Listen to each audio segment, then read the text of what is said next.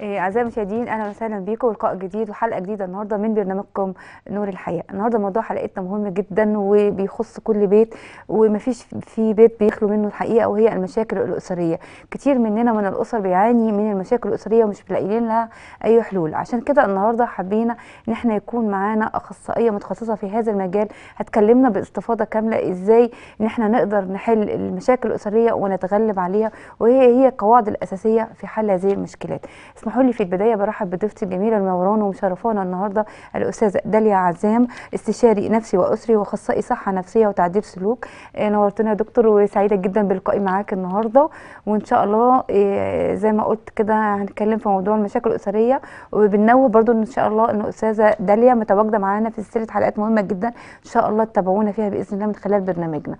آه، بيكي برحب بيكي نيلي. حبيبتي أهلا النهارده بيكي يا حبيبتي متشكرة ليكي المقدمه الجميله حبيبتي تسلمي لي وليا الشرف طبعا إن أنا متواجدة معاكي النهارده. وكان نفسنا إن إحنا نتقابلك من زمان بس طبعا بقى كان في ظروف بقى. طبعا وكده كل شيء بوقته يعني الحمد إيه، في البداية يا دكتور زي ما قلت كده المشاكل الاسريه كتير جدا ومفيش بيت ما بيخلوش منها يا دكتور.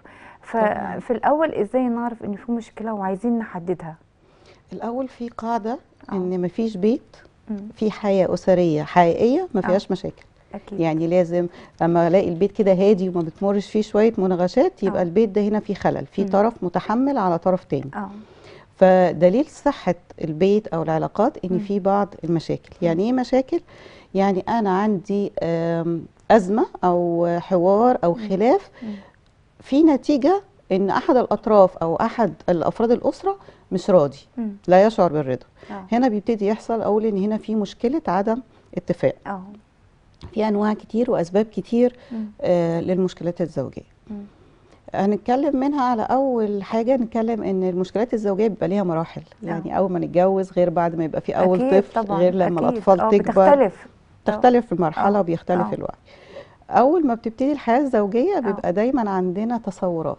مم، اللي هي أول نقطة بنقول عليها هي التوقعات. آه سقف التوقع الغير واقعي. مم، الولد بيبقى شايف إنه هيتنقل لبيت يلاقي فيه جنة اللي هو كل طلباته مجابة وكل أوامره مست- بتنفذ مم، وإن موجود شخص قائم عليه. آه. البنت بتبقى عندها توقعات مختلفة مم. إن هي هتخرج براحتها هتتصرف براحتها مم، مبقاش فيه وقت للدخول والخروج هتسافر براحتها. مم، لما بنيجي ندخل ال- البيت آه. بنلاقي إن الحياة لأ عادية. مختلفة. تماما عن تصوري. آه في في. في شخص آخر مختلف. عني. آه. في شخص طلباته مختلفة اهتماماته مختلفة مم. ليه لأنه ده طبيعي الحياة في البيت الزوجية غير ما كانت في بيت باباها وشخصين بتختلف. مختلفين نهائي أكيد طبعا من بيئتين مختلفتين مش آه. شرط إن إحنا نبقى من نفس المستوى الاجتماعي مم. معنى كده إن إحنا مش هنمر بمشاكل أكيد طبعا فسقف التوقع هو من أول أسباب المشاكل مم. ما بين الأفراد عامة مم. آه، حتى ما بين آه، الأب والأم والأولاد هي آه. متوقعة من الأولاد كذا لأن هي قدمت كذا مم. فده اللي بيعمل مشاكل مم. تاني حاجة فقدان لغة التواصل الصح مم.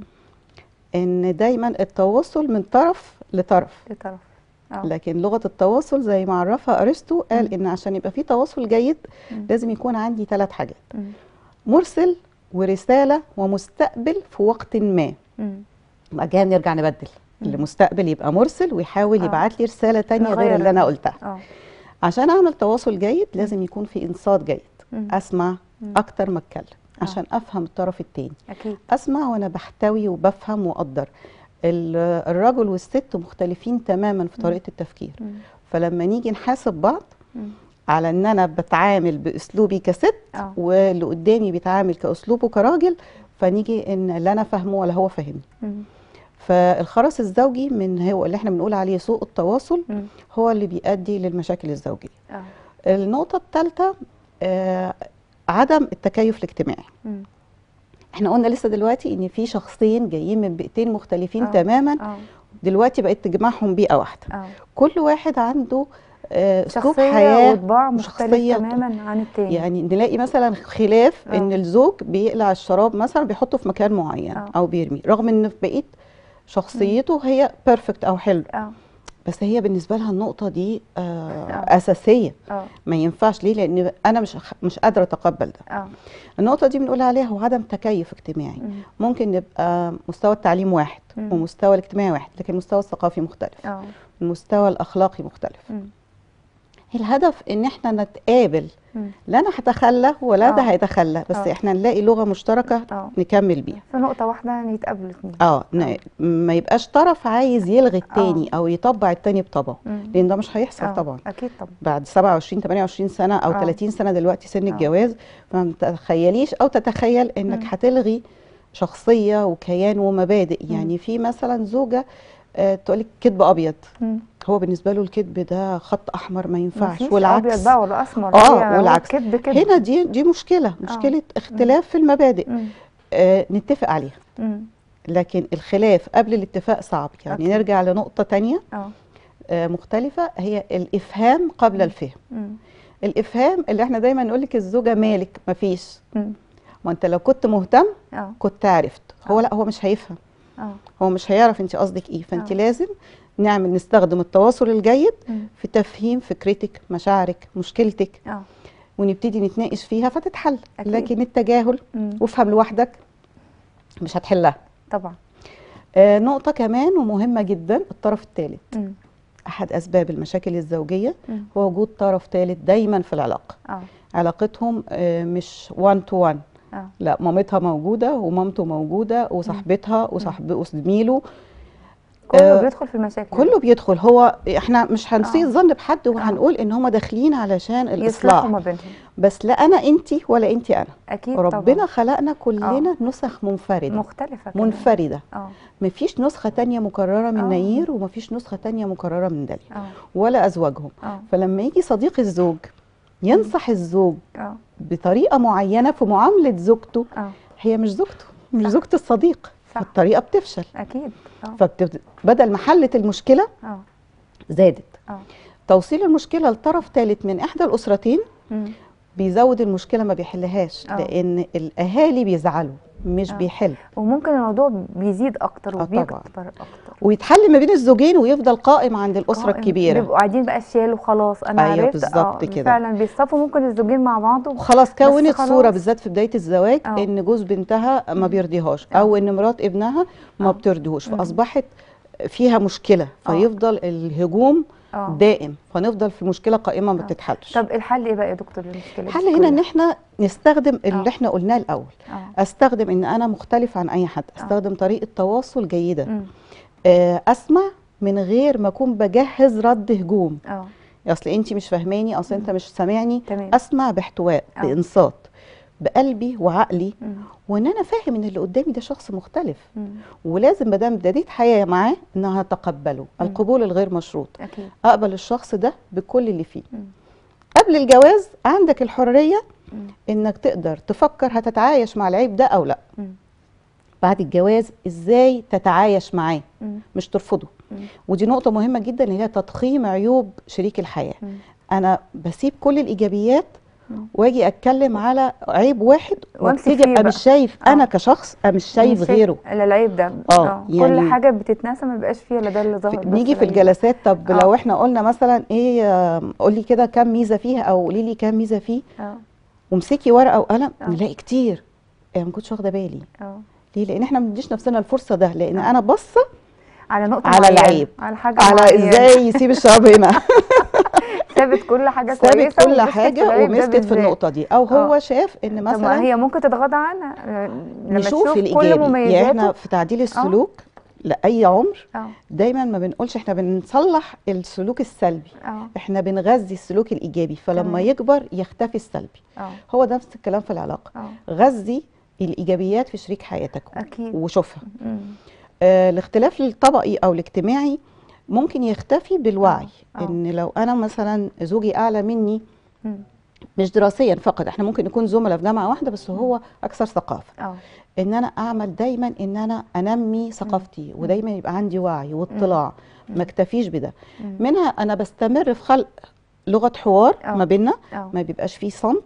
بالتالي دايما يبقى فيه آه، يعني تواصل يقدر يسمعني يقدر أفهمه أقدر آه. إن إحنا الاثنين بنتكلم من على قاعدة واحدة. آه، نقطة مهمة جدا للست مم. آه، وبتأثر فيها قوي هي الإهمال آه وعدم الاحترام وعدم مم. التقدير مم. ممكن نقول هي بتأثر في الست قوي بس بتأثر في الراجل بنفس ال- بس هي دلوقتي يا قيمة. دكتور بقت منتشرة فعلا في أسر كتير جدا يعني الرجال فعلا عادي بيتعاملوا بالطريقة دي فعلا مع الستات يعني فعلا حقها فعلا بيبقى في مشاكل ده. بتبقى سببها الوعي مم. الجمعي وعي المجتمع وعي المجتمع إن الراجل يطلع يروح الشغل مم. يرجع مش طايق نفسه مم. رغم إن هو لو خارج من الشغل وقعد إيه؟ مع أصحابه هيقعد لطيف قوي. آه. تمام؟ بس هو خلاص مبرمج آه. في البرمجة اللغوية العصبية إن هو وقت ما هيخلص الدوام أو هيخلص الشغل راجع على البيت خلاص. آه. إحنا فصلنا الكلام مم. واللغة قلت. مم. وده كمان بيرجع إن فرق المحصول اللغوي مختلف عند الراجل عن الست. مم. الست ثلاث أضعاف. آه. فبتبقى محتاجة لما يرجع من الشغل إنها تقعد تحكي له كتير. كتير صح. وهو مش عايز غير إن هو خلص محصوله اللغوي بره وعايز يسكت. هو خلاص اكتفى بقى عايز يدخل عايز يسكت فعلا. خلاص الدنيا قفلت هنا نحلها إزاي؟ آه. إن هي يبقى لها أنشطة بره آه. ليها أصحاب ليها دنيا آه. ليها دايرة تانية. تشغل نفسها بيها. ليها دايرة تانية خاصة بيها آه. لكن ذوبانها بس في شخص الزوج والبيت آه. هو ده اللي بيؤدي للمشاكل. آه. لكن الاحترام والتقدير والمشاكل الأخلاقية والعنف في التعامل سواء بدني أو لفظي ده احدى المشاكل القائمة طبعا. أكيد طبعا آه. طب بالنسبة بقى للمشاكل يا دكتور أثرها على الأبناء سواء إذا كانوا لسه أطفال آه، صغيرين أو مراهقين يعني إزاي نقدر المشاكل؟ بتوصل للأطفال حتى هم أجنة آه يعني البيبي في بطن مامته مجرد ما بيحس يا دكتور بيحس بالرفض بيحس بالقبول بيحس. إنها متوترة إنها. زعلانة إنها. بتعيط على طول أكيد آه طبعا فبيحصل حتى أمهات كتير بتشتكي إن حركة. الطفل بتختلف الطب دلوقتي بيقول لك سمعهم موسيقى سمعهم بتختلف فعلا عن مول الأم يعني, آه، يعني لو هي مبسوطة هو بيبقى الدنيا. بتتظبط جوه ولو الأب رافض الحمل ده آه. بيوصل للبيبي أو الجنين إن آه. الأب رافض سبحان الله بيوصل إن الولد بيتولد بمشكلة نفسية من قبل الولادة يا سبحان الله المرحلة الصغيرة اللي هي الأطفال أو حديثي الولادة. ولسه ما بيقدروش يعبروا. بيستشعروا جدا. الجو ال- العام للبيت. إزاي هو دافي ولا متوتر مشحون مم. ولا م- ولا مطمئن مم. آه لو مش قادر يعبر بتلاقي آه. الطفل عصبي بيصرخ بيجز مم. على أسنانه وهو نايم مم. بيكسر لعبه مم. آه مش سهل تلعبي معاه. آه سن الدراسة بنبتدي تظهر المشاكل دي أكتر مم. بنلاقي الأطفال آه بتقرقط ضوافرها بتشد شعرها مم. بتنتف كمان حواجبها عندهم حالة نفسية تقلب تعمل أنا شفت فعلا اضطراب حالات كتير كده يا دكتور فعلا وبالذات كمان قلق. الحواجب دي اللي آه اللي دي غريبة يعني إحنا بالعادة بنشوف الضوافر إنما لا آه الحواجب دي أنا شفتها دي. درجات. أنا شفتها آه شد الحواجب نتف مم. الشعر آه. تلاقي بؤر شديد فاضية من شعره إن آه. هو بيشدها آه بنرجع تاني لتبول لا إرادي ودي بالليل تكون حالة نفسية يا دكتور ولازم حالة ي- نفسية من يتعرض على الخوف. الطبيب توتر آه. في زعيق على طول. آه. آه الأم والأب اتخانقوا فهو جه عمل موقف فراح الأب مزعق له جامد مم. عشان هو متعصب. أيوه. بس هو مش فاهم هو إيه اللي حصل. يعني تمام. أنا مثلا ما عملتش حاجة. أيوه. فبيبقى خوف بلا سبب بلا. هدف. آه. بيبقوا في حالة من التوتر والقلق الدائم أكيد طبعا. ننقل على سن الدراسة. آه. آه بيحصل بجانب كل المشاكل دي مم. تأخر الدراسي مم. التاخر الدراسي من أحد مشاكل التعليم. مم. آه، بس دي النقطة الوحيدة اللي خاصة بالمشاكل الأسرية. مم. الولد يبقى عنده نسبة ذكاء عالية جدا مم. يعني إحنا دايما بنعمل آه، في حالة التأخر بنعمل اختبار اسمه ستانفورد بينيه آه. وهو ده المقنن في مصر الصورة الخامسة آه الطبيعي إن المقياس ده من مم. 90 ل 120 ده ال normal تمام آه بنلاقي أطفال فئة الموهوبين معديين ال 120 آه. وعندهم تأخر دراسي آه ليه لأن هو مع فقد الدافعية للتعليم مم. هو مش عايز يتعلم. لأن الجو المشدود في البيت مشتت انتباهه مشتت تركيزه مم. آه، بيحط مش مركز بيفكر في حاجات كتير مم. هل أنا المرفوض هل أنا سبب المشكلة أيوه هل أنا اللي مش محبوب طب آه. أنا فطول الوقت هو دماغه شغالة في حاجات تانية شغال آه آه. لو اتنقلنا بده لمرحلة المراهقة مم. فأنا حطيت عليه بقى خ... اضطراب في تفكير المراهق آه اختلاف في مشاعره مم. آه، إثباته لذاته تكوين شخصيته كل تمام. ده بيأثر أكيد على حالته. النفسية حالته النفسية آه وتكوين شخصيته بعد كده اللي هو ممكن يطلع مضطرب نفسيا مم. والاضطراب يؤدي إلى مرض.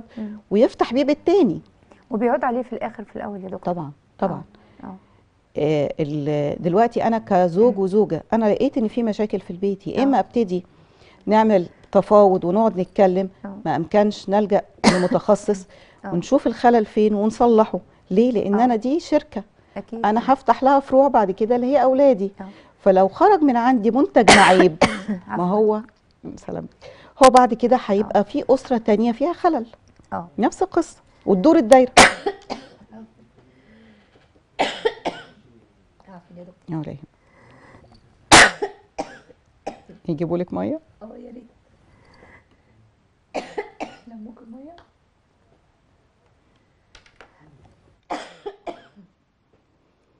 أحد المشاكل ال- الكبيرة في كل البيوت هي الميزانية. بالذات الفترة اللي فاتت في ميزانيات كتير حصل فيها خلل بسبب ظروف الكورونا وبعض الشغل ال- اللي عطل أو بعض الأعمال اللي عطلت. آه، اله- الهدف الوحيد اللي نقدر نخرج بيه من المشكلة دي الشفافية. إن الزوج والزوجة يقعدوا بورقة وقلم نكتب دخلنا ونكتب الثوابت في أول الورقة اللي هي الإيجار والحاجات اللي بتدفع الأقساط آه، المدارس العلاج. بند الادخار بند الطوارئ ونبتدي نكتب بقى إيه مفردات الشهر. طب ال- الميزانية مش هتكفي طب نقدر نعوض ده من هنا لهنا بإيه أو نعمل إيه؟ يبقى بحضور الطرفين. لكن مش أنا أديها مبلغ وأقول لها اتصرفي فهي ما يكفيهاش فتبتدي الخناق. لازم المشاركة وبالورقة والقلم. وساعة ما يحصل أي حاجة طارئة آه. نقعد برضو بالورقة والقلم إزاي هنعمل إحلال ونغير البنود دي. مم. نقطة مهمة من أهم النقط اللي بتبقى عليها المشاكل هي الميزانية والطرف الثالث وعيوب. آه دي بتحصل عليها بقى مشاكل يا دكتور آه اول شهر طبعا. المفروض فعلا زي ما حضرتك قلتي يعني يقعدوا الاثنين مع بعض. ولو الزوجة بتشتغل انت آه. هتشاركي بقد إيه في آه. البيت؟ وطواعية مم. مش اجبارا عشان هي تبقى مرتاحة. آه. لأن كل المشاكل دي بتأثر في حالة في الآخر اسمها الرضا. عن عن آه. الحياة. آه. الرضا عن الحياة هو اللي بيؤدي إلى الصحة النفسية. أكيد آه.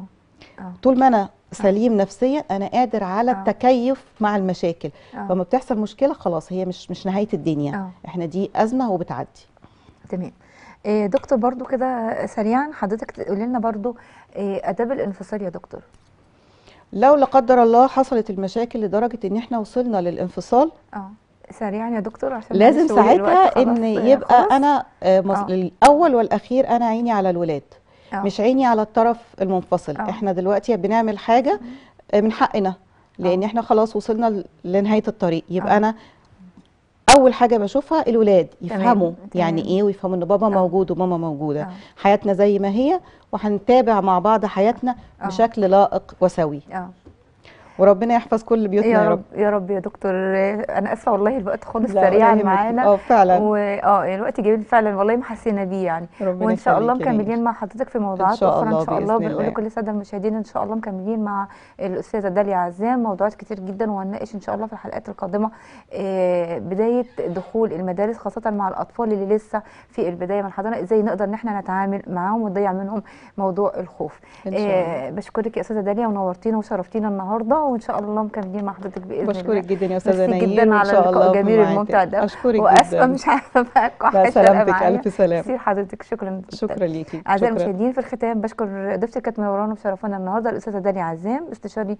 نفسي وأسري واخصائي صحة نفسية وتعديل سلوك. بنشكركم مشاهدينا وبنشكر كل القائمين على البرنامج المصورين والمخرج أستاذ عبد الله الشريف والمعدة الجميله نادر الخولي شكرا لكم مشاهدينا في أمان الله.